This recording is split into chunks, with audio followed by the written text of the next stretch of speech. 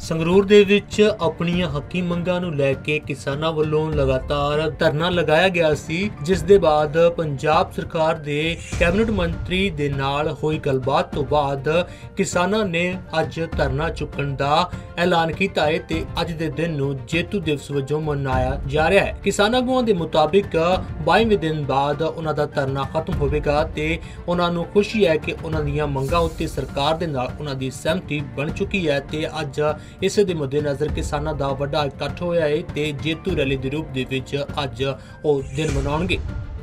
ਅੱਜ ਅਸੀਂ ਜੇਤੂ ਰੈਲੀ ਕਰ ਰਹੇ ਹਾਂ, ਜਿਹਦੇ ਵਿੱਚ ਬਹੁਤ ਵੱਡੀ ਗਿਣਤੀ ਦੇ ਵਿੱਚ ਸਾਡੀਆਂ ਮਾਵਾਂ ਭੈਣਾਂ ਆ ਰਹੀਆਂ ਨੇ, ਸਾਡੇ ਕਿਸਾਨ ਆ ਰਹੇ ਨੇ, ਉਹਦੇ ਵਾਸਤੇ ਲੰਗਰ ਪਾਣੀ ਦਾ ਪੂਰਾ ਪ੍ਰਬੰਧ ਆ ਜਿਹੜਾ ਕੀਤਾ ਹੋਇਆ ਸੀ। ਲਗਾਤਾਰ 9 ਤਰੀਕ ਤੋਂ ਲੈ ਕੇ ਅਸੀਂ ਮੋਰਚੇ 'ਚ ਬੈਠੇ ਆ 7 ਤਰੀਕ ਨੂੰ ਪਹਿਲਾਂ ਮੁੱਖ ਮੰਤਰੀ ਭਗਵੰਤ ਸਿੰਘ ਮਾਨ ਨਾਲ ਮੀਟਿੰਗ ਹੋਈ ਆ। ਜਣੀ ਸਾਡੀਆਂ ਉਸ ਮੀਟਿੰਗ ਦੇ ਵਿੱਚ ਵੀ ਮੰਗਾਂ ਜਿਹੜੀਆਂ ਮੰਨੀਆਂ ਗਈਆਂ ਪਰ ਉਹਨੂੰ ਅਮਲੀ ਰੂਪ ਦੇ ਵਿੱਚ ਲਾਗੂ ਕਰਨ ਦੇ ਵਾਸਤੇ ਜਾਂ ਲਿਖਤੀ ਤੌਰ ਦੇ ਉੱਤੇ ਜਿਹੜੀ ਉਹ ਗੱਲ ਉਸ ਦਿਨ ਨਹੀਂ ਹੋਈ। ਇਸ ਕਰਕੇ ਕੱਲ ਸਾਡੀ ਖੇਤੀਬਾੜੀ ਮੰਤਰੀ ਕੁਲਦੀਪ ਸਿੰਘ ਧਾਲੀਵਾਲ ਸਾਹਿਬ ਦੇ ਨਾਲ ਮੀਟਿੰਗ ਹੋਈ ਆ ਪਟਿਆਲੇ ਰੈਸਟ ਹਾਊਸ ਦੇ ਵਿੱਚ। ਉਸ ਮੀਟਿੰਗ ਦੇ ਵਿੱਚ ਸਾਰੀਆਂ ਮੰਗਾਂ ਤੇ ਸਾਡੀ ਸਹਿਮਤੀ ਬਣੀ ਆ। ਲਿਖਤੀ ਰੂਪ ਦੇ ਵਿੱਚ ਅਸੀਂ ਉਹ ਮੰਗਾਂ ਲਈਆਂ ਹੈਗੀਆਂ ਨੇ। ਮੰਗਾਂ ਤਾਂ ਇਹ ਹੈ ਵੀ ਸਾਡੀ 12 ਮੰਗਾਂ ਸੀ। ਉਹ ਮੰਗਾਂ ਜਗਤਾਰ ਸਿੰਘ ਕਾਲਾਚਾਰ ਨੇ ਤੁਹਾਡੇ ਨਾਲ ਸਾਂਝੀਆਂ ਕਰ ਲੀਆਂ ਜੇ ਦੁਬਾਰਾ ਕਰਨੀਆਂ ਨੇ ਉਹ ਨਰਮੇ ਦੀ ਗੁਲਾਬੀ ਸੁੰਡੀ ਦੀ ਗੱਲ ਹੈ ਮਾਈਨਿੰਗ ਦੀ ਗੱਲ ਹੈ, ਪਰਾਲੀ ਨੂੰ ਅੱਗ ਲਾਉਣ ਦੀ ਗੱਲ ਹੈ, ਜੀਰੇ ਦੀ ਫੈਕਟਰੀ ਦੀ ਗੱਲ ਹੈ। ਉਹ ਸਾਰੀਆਂ 12 ਮੰਗਾਂ ਸੀ, ਜਿਹੜੀਆਂ ਮੰਗਾਂ ਤੇ ਅਸੀਂ ਲੜ ਰਹੇ ਸੀ। ਉਹ ਸਾਰੀਆਂ ਮੰਗਾਂ ਦੀਆਂ ਅੱਡ ਅੱਡ ਸਮਾਂ ਬਾਉਂਡ ਹੋਇਆ ਹੈ ਬਾਉਂਡ ਇਸ ਕਰਕੇ ਹੋਇਆ ਕਿ ਸਾਰੀਆਂ ਮੰਗਾਂ ਪੰਜਾਬ ਸਰਕਾਰ ਦੀਆਂ ਨਹੀਂ ਸੀ। ਉਹ ਚ ਕੁਝ ਮੰਗਾਈਆਂ ਸੀ, ਜਿਹੜੀਆਂ ਸੈਂਟਰ ਨਾਲ ਸੰਬੰਧਿਤ ਹੈ। ਜਿਹੜੀਆਂ ਸੈਂਟਰ ਨਾਲ ਸੰਬੰਧਿਤ ਹੈ, ਉਹ ਸਾਨੂੰ ਵੀ ਪਤਾ ਸੀ, ਕਿਉਂਕਿ ਜਦ ਅਸੀਂ ਪਹਿਲਾਂ ਯਾਦ ਪੱਤਰ ਦਿੱਤਾ ਹੈ ਉਸ ਯਾਦ ਪੱਤਰ 'ਚ ਕਿਹਾ ਸੀ ਵੀ ਸਾਨੂੰ ਪਤਾ ਹੈ ਵੀ ਆ ਸੈਂਟਰ ਨਾਲ ਸੰਬੰਧਿਤ ਮੰਗਾਂ ਨੇ, ਇਹ ਇੰਨੀ ਛੇਤੀ ਜੇ ਅਸੀਂ ਕਹੀਏ ਫੌਰੀ ਹੋ ਜਾਣਗੀਆਂ, ਨਹੀਂ ਹੁੰਦੀਆਂ। ਇਸ ਕਰਕੇ ਉਹਦਾ ਸਮਾਂ ਬਾਉਂਡ ਹੋ ਗਿਆ। ਉਹ ਸਮਾਂ ਬਾਉਂਡ ਹੋਣ ਦੇ ਅੰਦਰ ਅੰਦਰ ਸਰਕਾਰ ਕਰੂਗੀ, ਨਹੀਂ ਕਰੂਗੀ, ਫਿਰ ਜਿਹੜਾ ਸਾਡਾ ਰਾਹ ਹੈ, ਅਸੀਂ ਚਲਾ ਲਾਂਗੇ ਫਿਰ।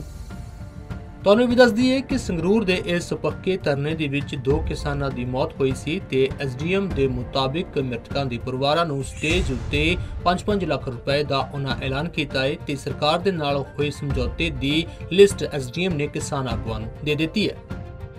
9 ਤਰੀਕ ਤੋਂ ਲੈ ਕੇ ਅੱਜ 22 ਤਰੀਕ 22 ਤੇ 22 ਆ ਜਿਹੜਾ ਧਰਨਾ ਖਤਮ ਹੋਇਆ ਅੱਜ ਜਿਹੜੀ 22 ਦਿਨਾਂ ਤੋਂ ਇੱਥੇ ਬੈਠੇ ਆ।